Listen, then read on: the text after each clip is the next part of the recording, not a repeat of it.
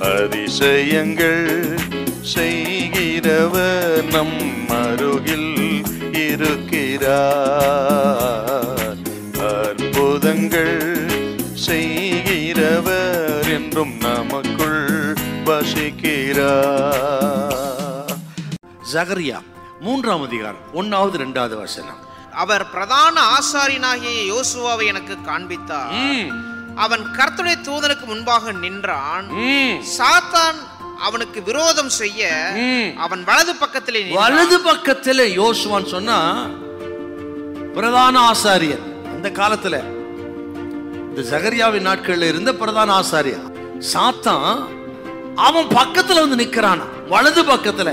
ஏன்னா அவன் அழுக்கு வஸ்திரம் தரித்திருந்தான் இது எதை காட்டுனா இஸ்ரவேல் ஜனம் பாவத்துக்குட்பட்டவர்களா இருந்தார்கள் அடிமைத்தனத்தில் கிடந்தார்கள். அதுக்கு அடையாளம் தான் யோசுவா அழுக்கு வஸ்திரத்தோடு நிற்கிறான்னு அர்த்தம். இப்படி அழுக்கு வஸ்திரத்தோடு நிற்கிற யோசுவாவின் வலது பக்கத்தில் சாத்தான் நிற்கிறான். ஏன்னா கிளைம் பண்றான். இந்த அழுக்கு வஸ்திரம் பாவத்தின் அடிமைத்தனம் பாவம் அக்கிரம் அநியாயம் இருக்குது சொன்ன உடனே எனக்குரியது இவனுக்குள்ளே இருக்கிறது. எனக்குரியது இஸ்ரேல் ஜனத்துக்குள்ளே இருக்கிறது. அவர்கள் என்னுடையவர்கள். அப்படி கிளைம் பண்ணுறதுக்கு அவங்க நிற்கிறாங்க சார். சாத்தான் நாம் அவனுடைய அப்படின்னு சொல்லி கிளைம் பண்ணுவான். எப்போ? அவனுக்கு உரியது நமக்குள்ள இருந்தாள் இவன் ரட்சிக்கப்பட்டிருந்தாலும் ஆலைத்து போனாலும் இவன் என்னுடைய ஆளு எனக்கு உரியது அங்க இருக்குது. ஆகவே கத்திரி பிள்ளைகளை சாத்தானுக்கு உரியது நமக்குள்ள இருந்தா வலது பக்கத்துல வந்து கிளைம் பண்றான். சாத்தானுக்கு உரியது நமக்குள்ள இருக்குது. கோபம் இருக்குது வைராக்கியம் இருக்குது மூர்க்கம் இருக்குது கசப்பு இருக்குது இருக்கத்தான் செய்யுது சில நேரத்துல.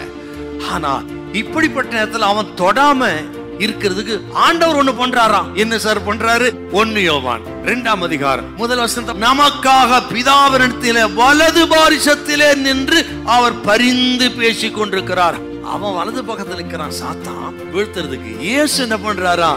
பிதாவின் வலவாசி உட்கார்ந்து நமக்காக ஜெபம் பண்றாரு. சாத்தா நம்ம தொடக்கூடாது வீழ்த்தக்கூடாது என்று ஏசு இரவும் பகலும் 24 ஃபோர் அவசம் நமக்காக அவர் ஜெபம் பண்றாரு ஐயா.